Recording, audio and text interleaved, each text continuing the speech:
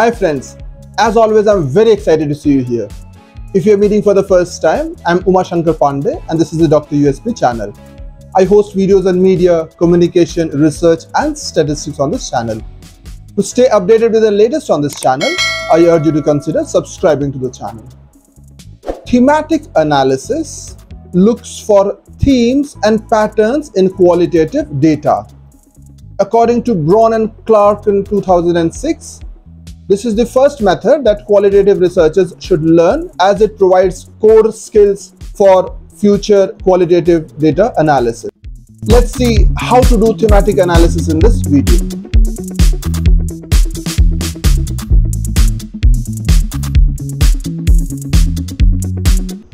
Braun and Clarke differentiate between two levels of thematic analysis, the semantic and the latent. In the semantic level, we look for surface or explicit themes. While in latent analysis, we look for underlying ideas, assumptions, conceptualizations. Virginia Braun and Victoria Clarke in 2006 proposed a six phase guide which is very useful for conducting thematic analysis. Most qualitative data are recorded as transcripts and field notes or video and analyzed using inductive holistic and narrative strategies. One popular form of qualitative analysis is coding. Its main task is developing the analytical categories and using them to generate themes, narratives, or even a grounded theory of the phenomena. Thematic analysis is the process of identifying patterns or themes within qualitative data. According to Virginia Braun and Victoria Clarke, it is the first qualitative method that should be learned as it provides core skills that will be useful for conducting many other kinds of analysis. It is a method rather than a methodology. The goal of a thematic analysis is to identify themes or patterns in the data that the researcher considers important or interesting and use these themes to address the research or say something about an issue. This is much more than simply summarizing the data. A good thematic analysis interprets and makes a sense of the data. Braun and Clarke distinguish between two levels of themes.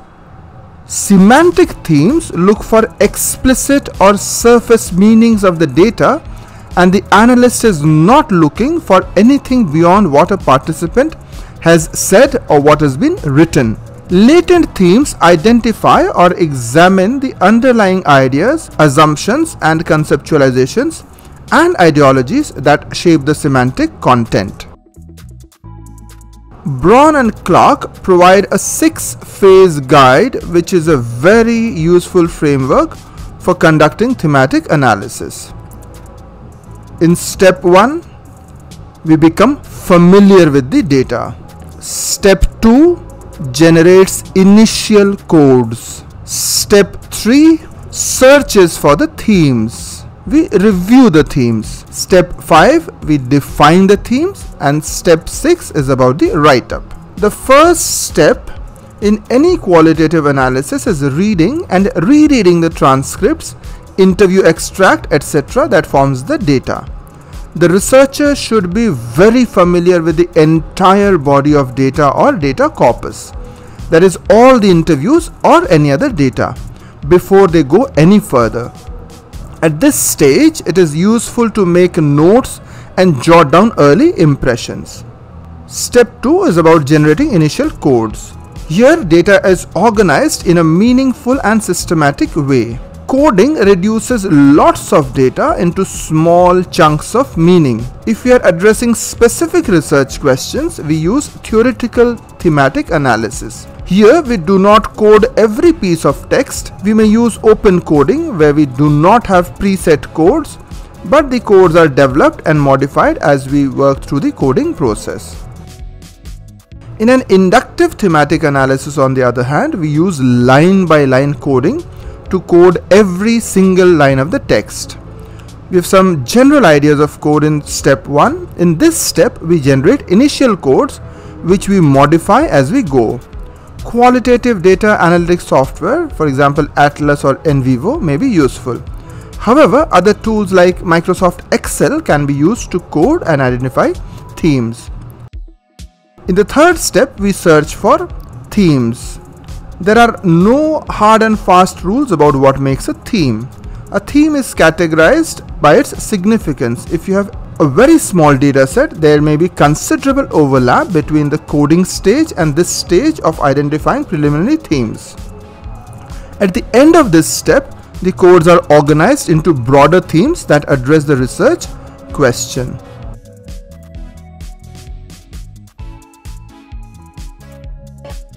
In the fourth phase of reviewing themes, we review, modify and develop the preliminary themes that we identified in step 3. These questions are very important. Do the themes make sense? Does the data support the themes? Am I trying to fit too much into a theme?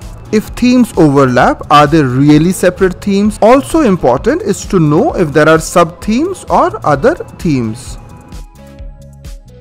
During the definition of the theme process, this is the final refinement of the themes.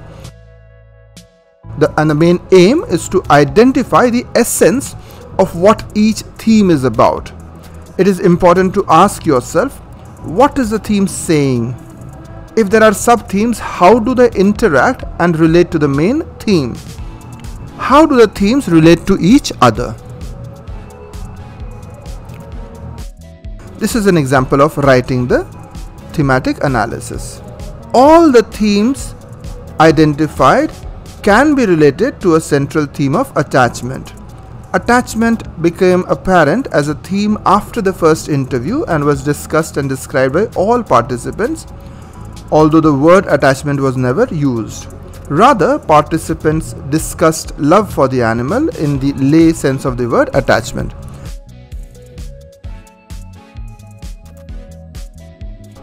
In a recent articulation, Braun and Clarke redefined the six phase process as number one, data familiarization and writing familiarization notes. Secondly, systematic data coding.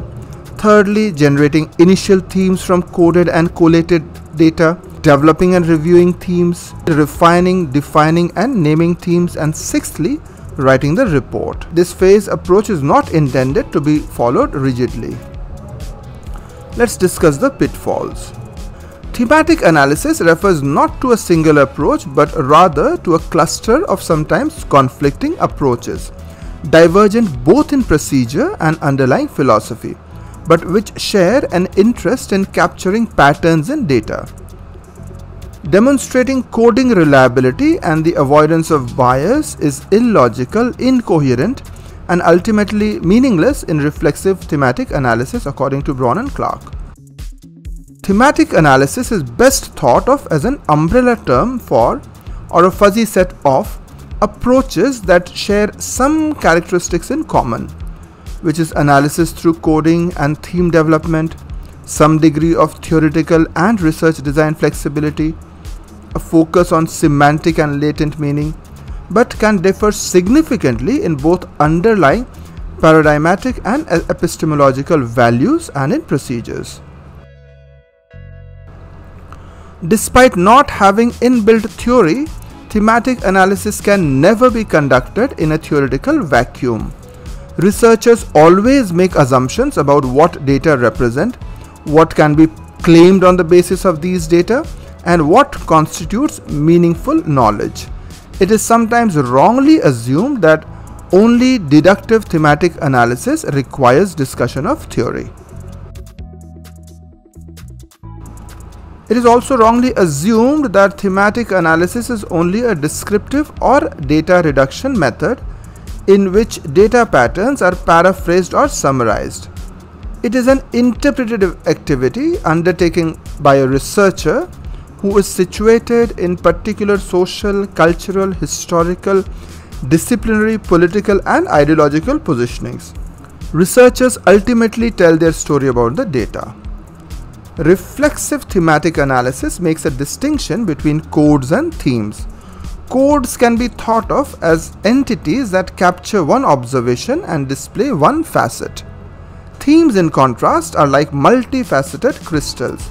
They capture multiple observations or facets. In many thematic analysis approaches, these terms are wrongly used interchangeably, or coding is conceptualized as a process of allocating data to predetermined themes. It is important to distinguish between themes and topics. Data topics or domains are not themes. Themes are patterns of shared meaning united by a central concept or idea. A common mistake is to use the main interview questions as the themes. Typically, this reflects the fact that the data have been summarized and organized rather than analyzed. Themes are not diamonds scattered in the sand and found by the researcher. They are actively created by the researcher through their interpretative uh, engagement with data. Theme generation is a creative and active process where the researcher is central. Thanks for staying along, friends. As always, it was a delight having you here. I'll be back with another video very soon. Till then, have a great time.